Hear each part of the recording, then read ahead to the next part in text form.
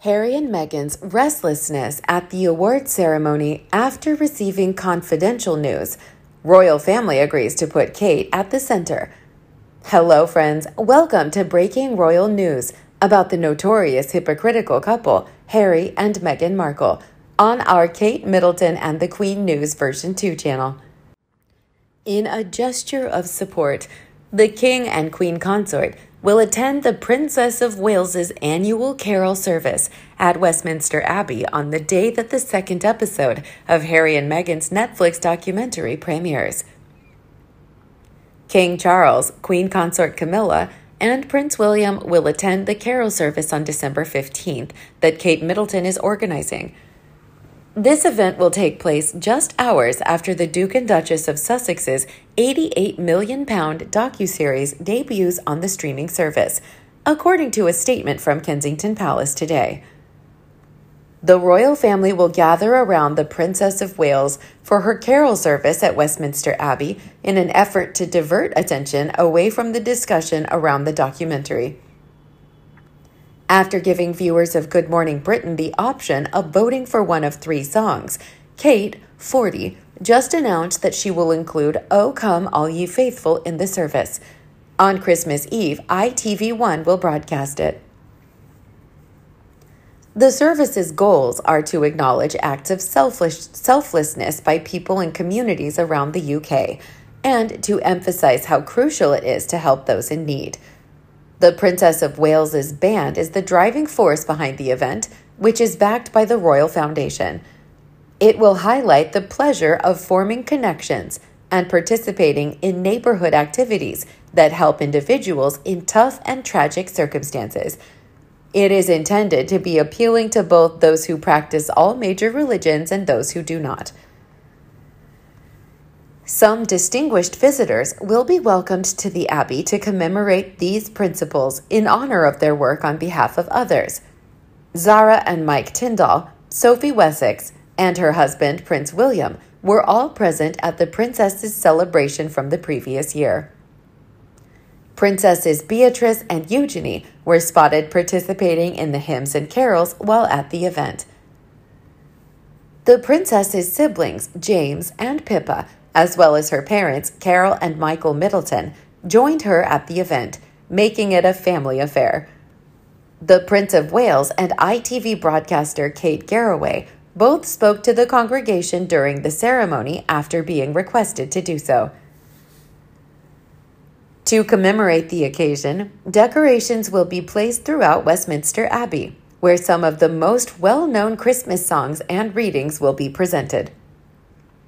ITV's head of entertainment commissioning, Katie Rawcliffe, stated, It is a true pleasure to once again serve as the broadcast partner for the Royal Carols. Viewers will receive a very special holiday surprise. The royal family took advantage of this event to call Harry back to the royal family. It is true that Harry loved hanging with William and Kate before the other one showed up. So if this is directed at Kate, it comes from a jealous, vindictive, narcissistic wife, the same one who disowned her own family. Not just the Princess of Wales, her entire family welcomed him in like one of their own. Because the Windsors celebrate the German tradition of having dinner and exchanging gifts on Christmas Eve, they all used to go over to the Middletons for, dare it to be said, a more relaxed, middle class Christmas the next day.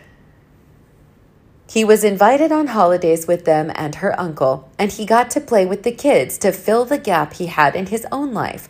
Just like he said when he took Meghan to Balmoral for Christmas, that his family were like the family she never had. He said that Kate was like the sister he never had, referencing the fact his mother desperately wanted a third child.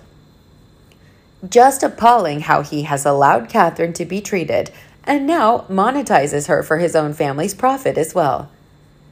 Simply everything these despicable pair have done emanates from one person. The person who has a long list of using people and then discarding them, made them serve a purpose. The person who publicly disowned her father in front of the eyes of the world. The same person who has told lie after lie after lie, time and time again. Royal insiders said Meghan absolutely hates royal rules, especially bowing to greet her husband's cousins. She thought the brothers were equal and could do the same things with the same honors. I remember reading there was an issue with curtsying to Kate. If William wasn't in the room, Kate had to be courteous to his cousins. But if Will was in the room, she had only to be cured courteous to the Queen and Charles. It must have come as a surprise to Harry's wife that she had to be courteous to everyone.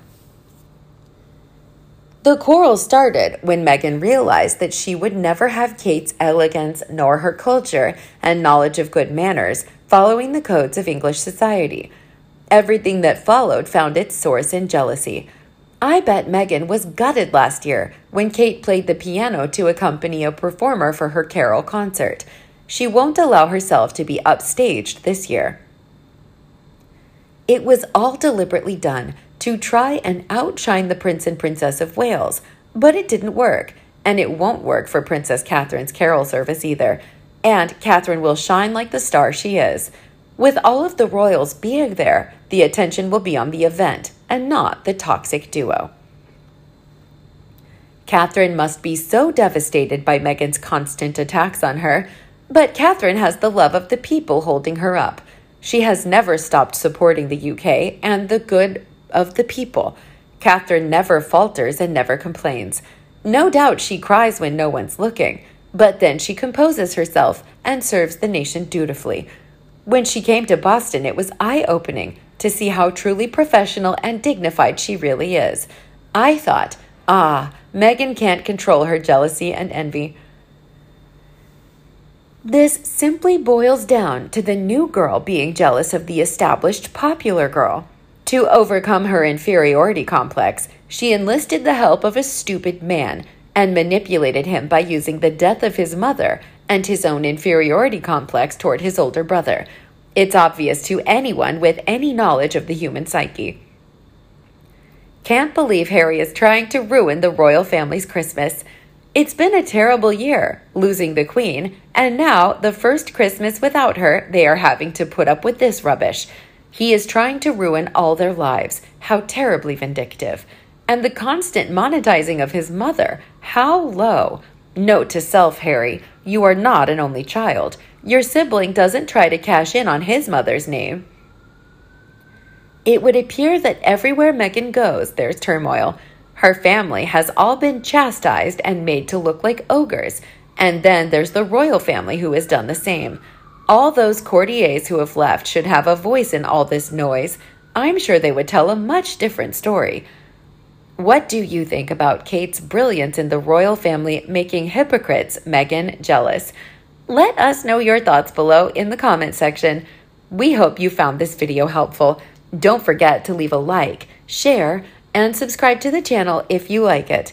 Thank you for watching this newsletter. See you in the next videos. Goodbye.